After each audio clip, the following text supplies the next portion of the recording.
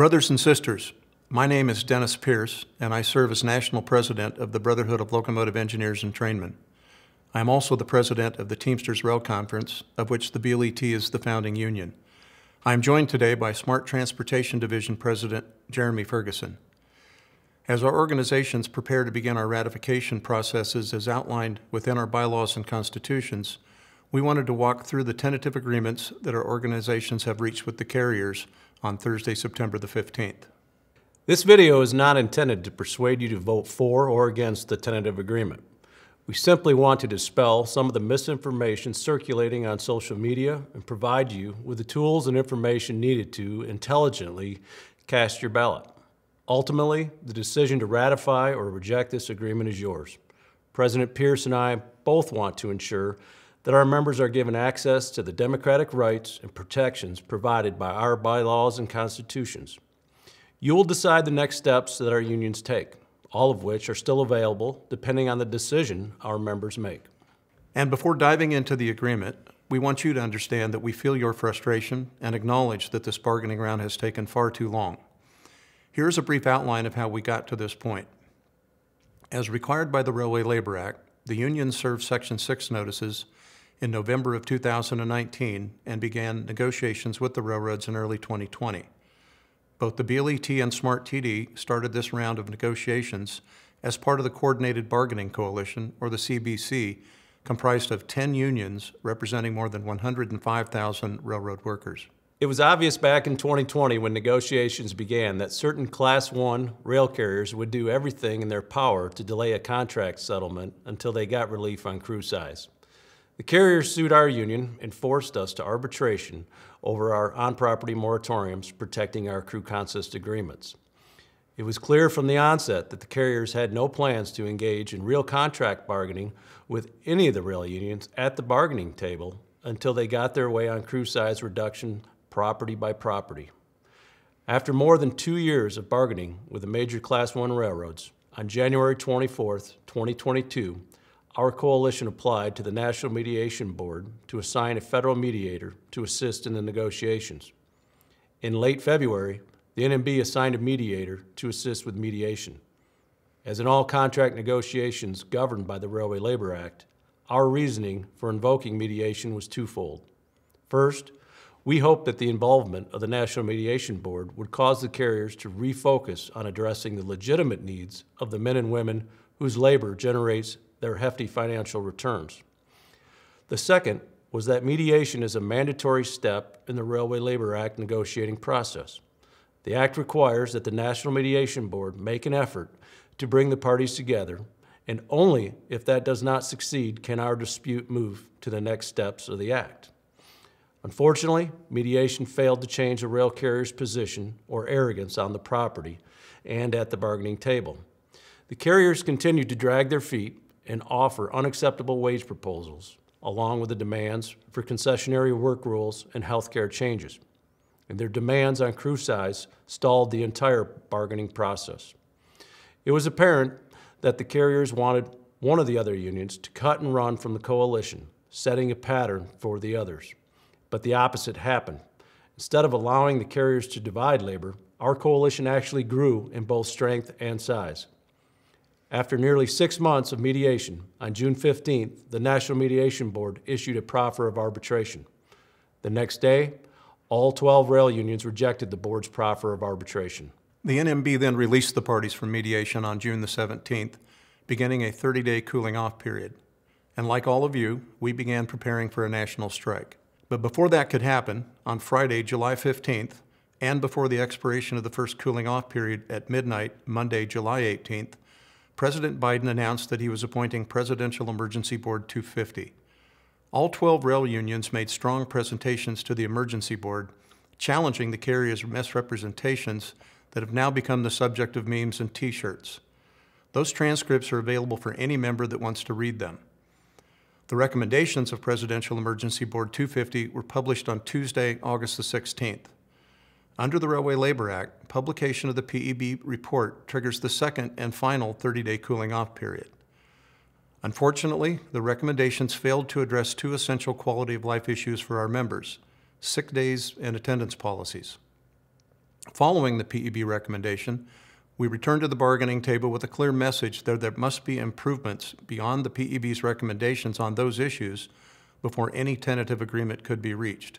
It is essential to understand that with the threat of a strike or lockout looming, the historical actions of Congress have rarely varied from the PEB recommendations. And it was clear while we were in negotiations on the 15th that Congress would in all likelihood impose PEB 250's recommendations before the strike deadline. With our efforts focused on improving the PEB recommendations on medical time off and attendance, both organizations reached a tentative agreement in the early morning of Thursday, September 15th. One more thing before we discuss the tentative agreement. I want to show our members the carrier's January 19th, 2022 proposal.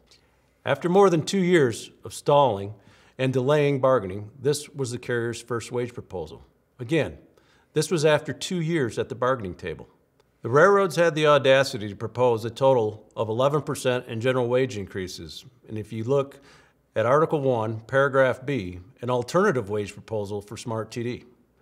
No wage increases were offered to Smart TD's members unless the union capitulated on crew size. The carriers even carried that proposal into their presentation to the PEB. Regardless of the opinions on the PEB's other recommendations, the PEB got it right on crew consist and blocked the carriers from forcing those negotiations to binding arbitration. This was a huge victory for all who hold conductor seniority and must not be taken lightly. What we'll do now is walk through the tentative agreement beginning with wages. The five-year tentative agreement calls for an immediate wage increase of 14% once compounded, with an additional 4% in July 1 of 2023 and 4.5% on July 1 of 2024. In addition, wage increases of 3% effective July 1, 2020, 3.5% effective July 1 of 2021, and 7% effective July 1 of 2022 will be fully retroactive for a compounded increase of 24% over the five-year term of the agreement. This represents the largest package of general wage increases in nearly 50 years. The agreement also includes annual lump sum bonus payments totaling $5,000. Employees with annual earnings of $75,000 will receive approximately $15,000 in back pay and bonus, while employees with yearly earnings of $100,000 will receive over $19,000 in back pay. Side letter one of the agreement requires the carriers to make all retroactive payments as soon as possible and no later than 60 days after the date of the agreement. Voting is tentatively scheduled to run from Monday, October 17th until Wednesday, November 16th. Therefore, if the agreement ratifies, our members can expect to receive back pay in December or early January. Turning to the health and welfare settlement, the carrier's proposals to increase the employee's point of service costs were all rejected by the PEB. For that reason, they will remain unchanged. There will be no increases to copays, deductibles, coinsurance, prescription drugs, and out-of-pocket maximums.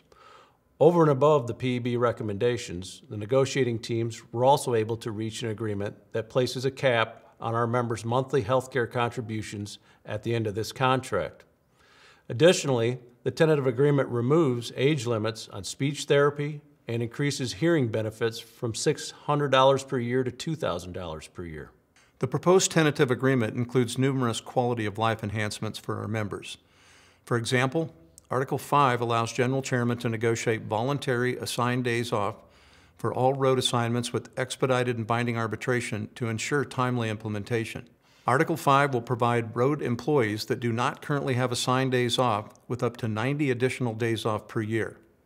Also, members will receive one additional day of paid leave that can be taken as a personal leave day, a vacation day, or as a day off on the member's birthday. The agreement includes nationally negotiated attendance rules for specific medical issues for the first time. Members in unassigned service will be allowed to attend three routine and preventative medical care visits per year without being assessed any disciplinary points, demerits, or disciplinary citations under the carrier's attendance policies. Each excused absence includes sufficient time off prior to and or following the exam. In other words, members are entitled to three mark-offs per year, not just three days off per year, for physicals and other annual medical checkups that can currently lead to attendance points being assessed when time off was taken to attend them. Side letter 3 excludes all hospital admissions and surgical events from assessing points under existing and future attendance policies.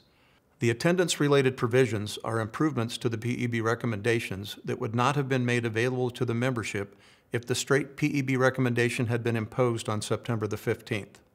The PEB also recommended adoption of the carrier's proposals on automated bidding and pool rotation, but the agreement allows our general chairman to incorporate voluntary days off and other quality of life enhancements into those pool changes, with the right to arbitrate any disputes over those negotiations.